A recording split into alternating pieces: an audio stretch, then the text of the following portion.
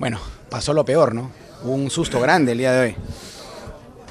Sí, cuando, cuando creo que, que más teníamos el dominio del partido pasó eso, bueno, lo supimos reponer, no nos alocamos como, como con Colombia y creo que fue gran mérito de todo el equipo. ¿no? ¿Cuál fue el replanteo al medio tiempo? No, yo creo que volvimos a hacer este, las cosas que, que veníamos haciendo antes, el, el juego en conjunto, la tranquilidad que, que siempre tenemos para, para, manejar los partidos. ¿no? Supimos llevar el partido a nuestro ritmo y eso fue importante. Hoy día tú particularmente, ¿tú jugaste mejor? Y yo siento que sí, eh, siento que, que estuve con, con, más confianza en los en los pases cortos y en los pases largos, así que eso tengo que seguir haciéndolo para, para el bien del equipo. ¿Sabías que Perú nunca había ganado en Maracaná? Ah, no, no sabía. Primera vez en la historia. Ah, mira, qué bueno. bueno pero... Tú habías ganado jugando acá, ¿no? Sí, pero bueno, este, este, este grupo ya viene rompiendo varios, varios tabús y bueno, eso, eso es lo importante. Una crítica.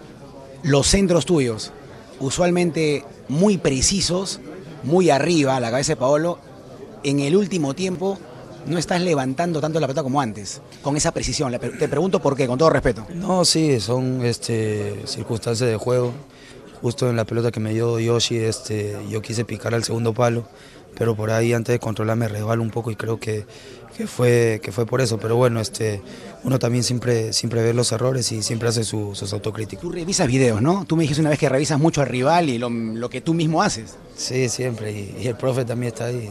Y ya me metió, me metió mi, mi gritadora y por eso estuve más, más aplicado. Tú, traté de estar más aplicado en realidad y bueno, creo que gracias a Dios se, se, dio, ¿no? Y pasa mucho por meter el pie contra, entre, o sea, el pie entre la pelota y el piso para que levante como tiene que levantar.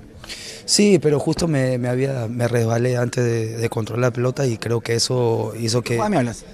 En una del primer tiempo que, que, que llegué solo. Pero bueno, son cosas que pasan y para la próxima hay que tratar de corregir eso. Bravo el profe, ¿no? Bravo el profe cuando, ¿Ah? el profe cuando se enoja por una cosa que se pudo haber evitado.